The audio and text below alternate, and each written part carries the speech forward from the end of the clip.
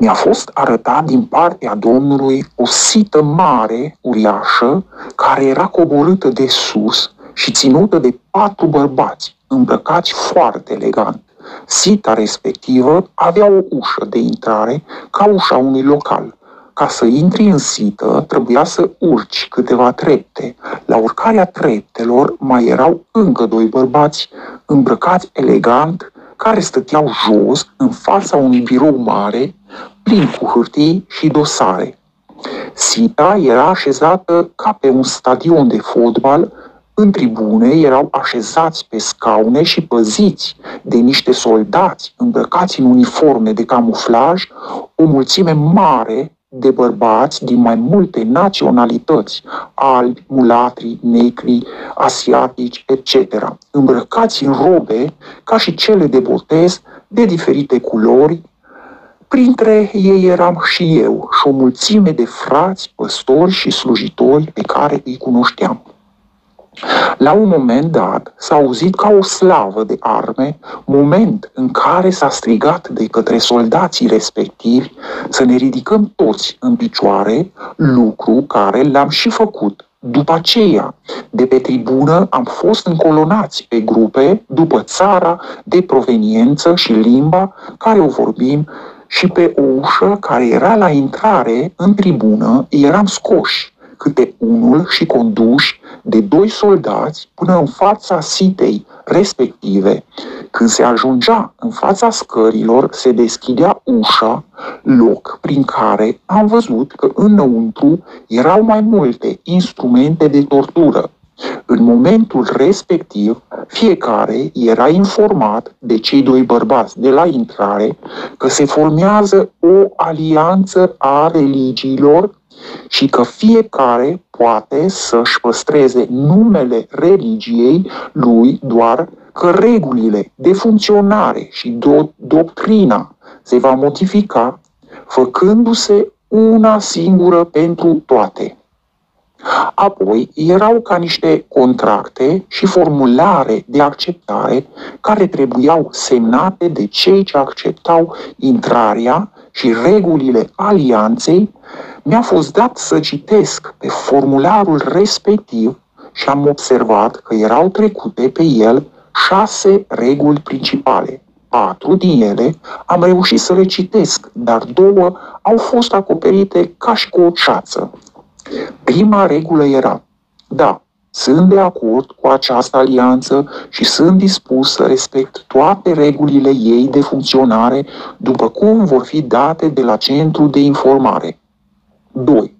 Sunt de acord cu colaborarea și respectarea tuturor regulilor înscrise în alianță, evitând să judec și să mă împotrivesc practicilor lor. 3.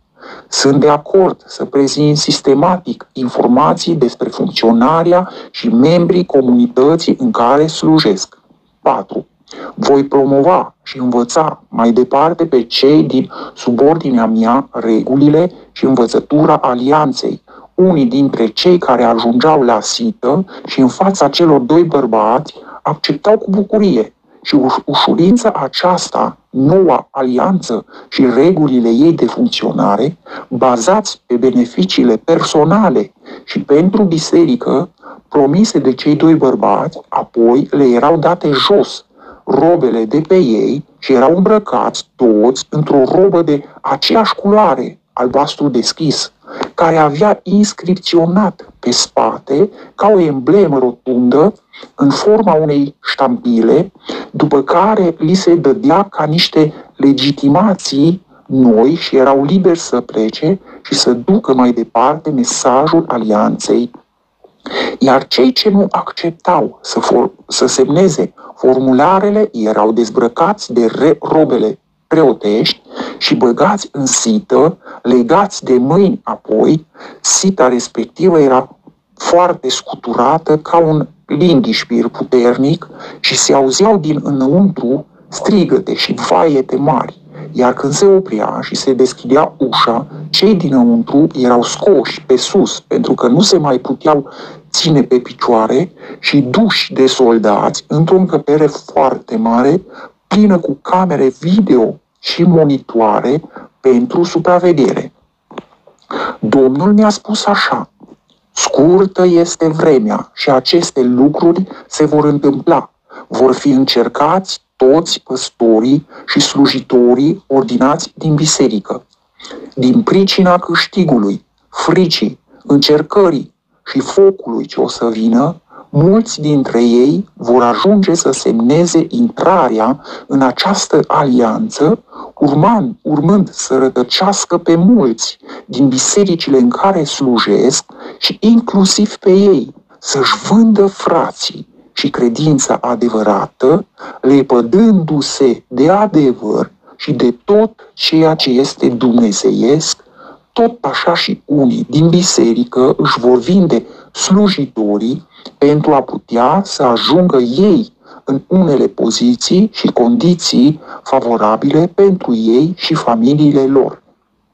Se cerea ca bisericile să se roage în vremea aceasta pentru slujitorii ei și să ceară împreună cu ei de la Domnul înțelepciune, călăuzire, credință și putere pentru a rămâne în picioare și a putea conduce turma pe calea cea îngustă și dreaptă. Ferice de cei ce aud și ascultă de glasul Domnului, apropiindu-se de el în vremea aceasta. Amin.